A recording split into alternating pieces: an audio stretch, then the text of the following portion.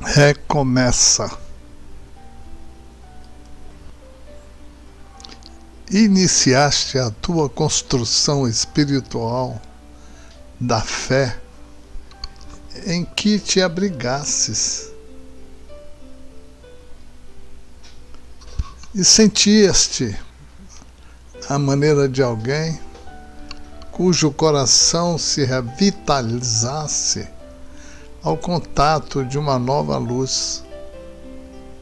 Entretanto, sombras apareceram no firmamento de tuas mais belas aspirações, quais nuvens que te empanassem a visão do sol. Afeições em que te escoravas desapareceram na correnteza de interesses inferiores. Companheiros, muito deles, obsidiados ou infelizes, te impuseram inesperadas desilusões. Perdeste recursos que consideravas essenciais à própria segurança e te refugiastes em amargurada introversão.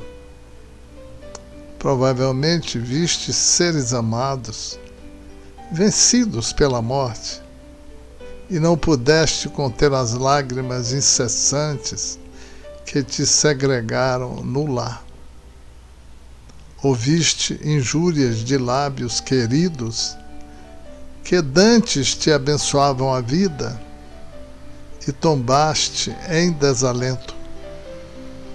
Ainda assim, Ergue-te da tristeza ou do desânimo e caminhemos adiante. Sofrimentos vencidos são tijolos de experiência com que levantarás novas paredes no santuário da esperança.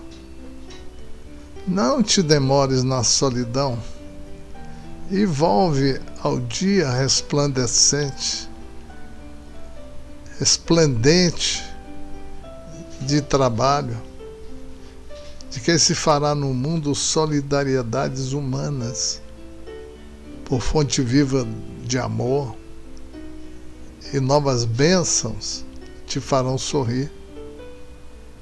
Não importa a legenda que tragas na bandeira do teu ideal de fraternidade.